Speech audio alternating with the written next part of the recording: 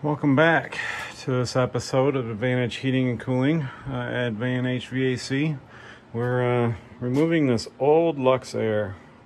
This thing is uh, this thing's way past its prime. a little crispy. It's a little bit too big for the house too, and this was a wonderful install. It worked. Yeah, we're gonna be dropping a liner down because this is all melted. Um, so yeah, welcome back.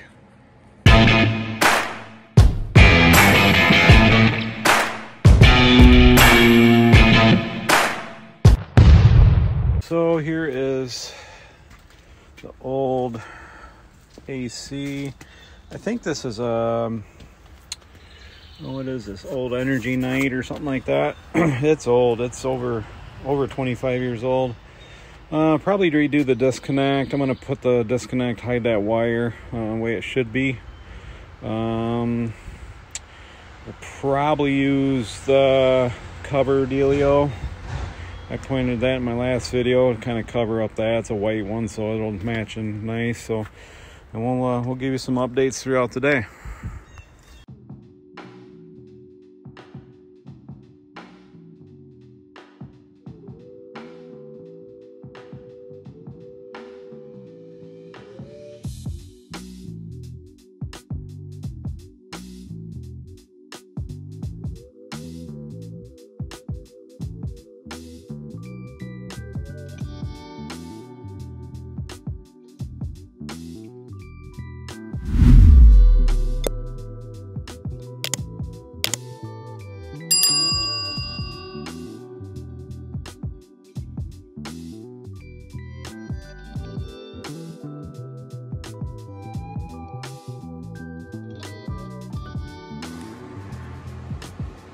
I have updates. So we got the old one out, got the new one in place. I had to work my voodoo magic on this here. This is the same, this is 22 by 12 or 12 by 22. It's the same size as my elbow. It worked. Um, whoever put this in, they kind of hacked this up a little bit and I had to do work some voodoo magic on it. I mean, it works. Um, I'm not going to reinvent the wheel. It's it's sealed up. It works. Um, doesn't look that bad. It's nice and straight. It was straighter than it was. I even got my pads underneath my furnace, so that worked out good. Um, so now I got all my measurements for my my metal supply.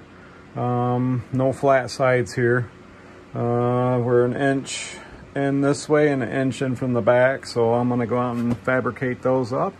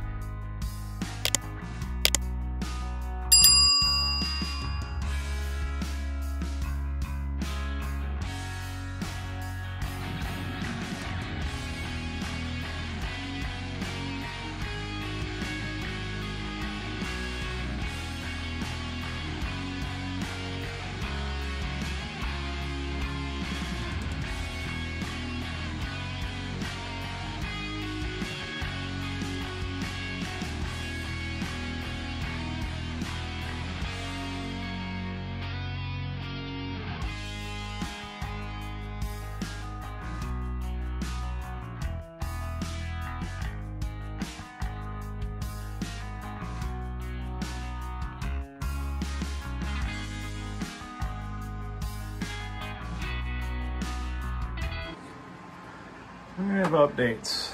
Got the liner down finally. And how many, how many of you have seen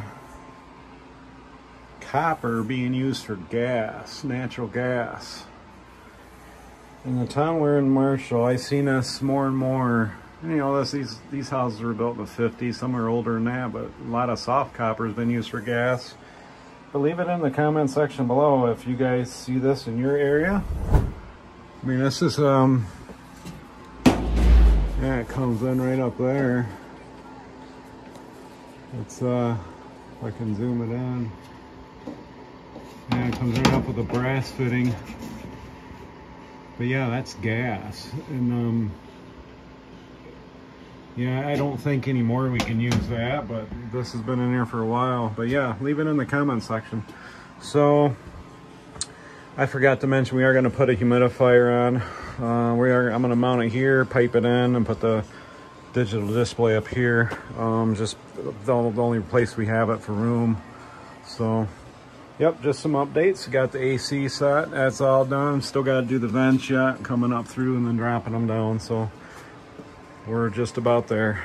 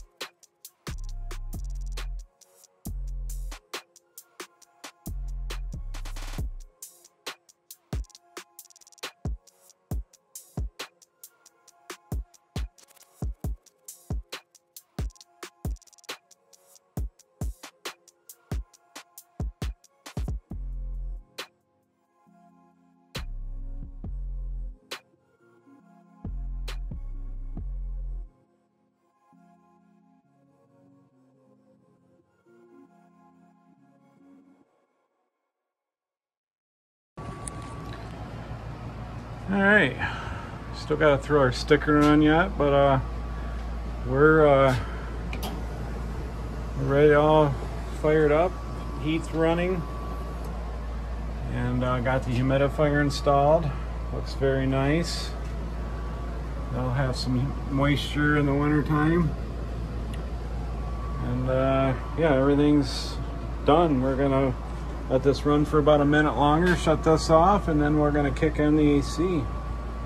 Um, condensate pump, it's all tied in. Everything's sealed. Like I said, new, new liners dropped in, hooked all that up. Nice clean install. This is in Marshall, Michigan. And let me go show you the AC. All right, here's the final product. It's up and running. Like these Armstrongs, they're nice and quiet.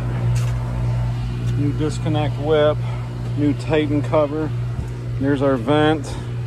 And as you noticed, we scooted this over a little bit. Um, it was sitting right here. Uh, that way it kind of gives him some extra room. Uh, he just uses this to put his grill in here in the winter time, whatever. Kind of cleaned it up. Tyler did a good job. So, yeah, we're uh, we're done, and we're going to go on to the next one. And if you got any value out of this content, smash that thumbs up button. And if you haven't subscribed, consider subscribing. It helps the channel out. And if you're the one who's smashing that thumbs down, do that twice. That'd be great. See you on the next one.